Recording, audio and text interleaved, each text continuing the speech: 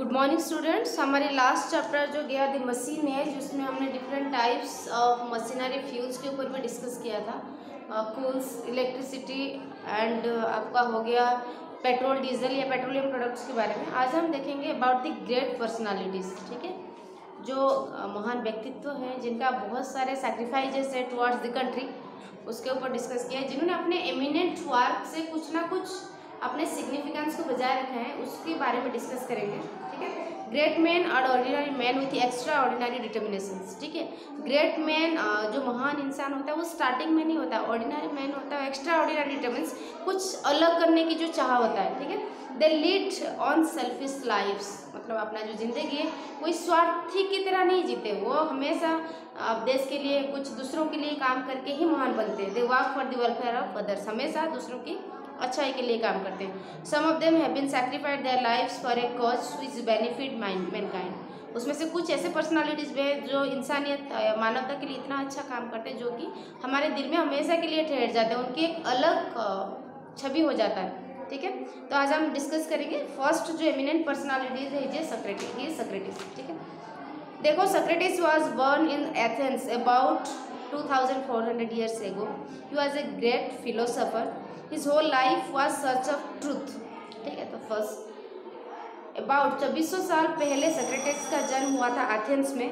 वो एक बहुत बड़ा दार्शनिक है और हमेशा सच की खोज करते रहते थे, सच्चाई का खोज करते रहते थे।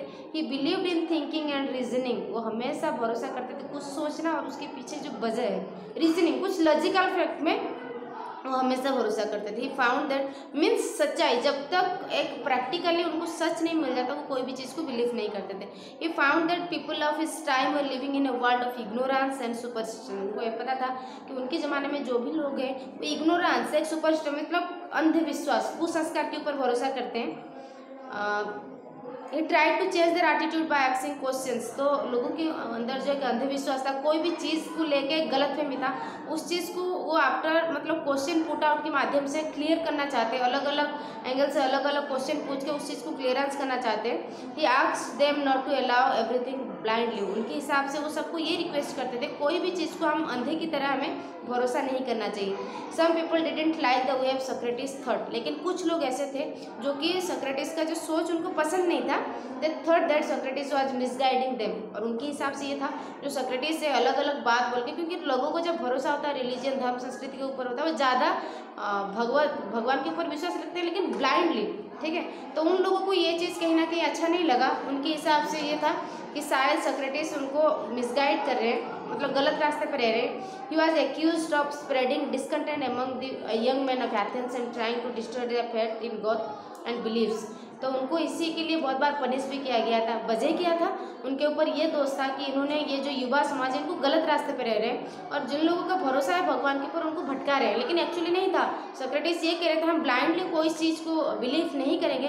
कोई चीज़ को बिलीव करने के पीछे हमारे उसका पीछे कुछ वजूद होना चाहिए या कुछ आंसर्स होना चाहिए। You are told by the जजेस to renounce his views of faced death ठीक है? तो इसकी वजह से उनको मौत की सजाएँ भी सुनने को मिले थे सक्रेटिस टू डेथ ठीक है? जज जो का उन्होंने कहा, आपको दो ऑप्शन दिया जाता है। अगर आप ये रास्ता छोड़ दो, नहीं तो आपको डेथ या पनिशमेंट मिलेगा, मृत्यु की सज़ा। तो यहाँ पे सक्रेटिस ने डेथ को चूज़ किया था। क्यू आज condemned to die by drinking poison उनको जहर पिलाया गया था। Drink the cup of poison with a smile on face और मरते टाइम भी उनके चेहरे पे कोई ग्लाने नहीं था, या कोई शिकायत नहीं था, क्योंकि उनका जो रास्ता था वो बिल्कुल सही था। You are seventy years old at the time of his death और मृत्यु के टाइम उनका जो उम्र था वो सत्तर साल था। Plato his chief disciple carried on his way on with with ideas after death उनके बाद उनके जो शिष्य प्लाटू आए, उनके रास्ते पे चले और उन्होंने इसके ऊपर भी भरोसा किया था कि अगर हम सुपरस्टिशंस वे को कंसिडर करेंगे तो हम लाइफ में कभी आगे नहीं बढ़ पाएँगे। ठीक है? हमारी नेक्स्ट क्लासेस में हम डिफरेंट एमिनेंट पर्सनालिटीज़ के ऊपर डिस्कस करेंगे। आज हमने सक्रेटिस के ऊपर डिस्कस किया।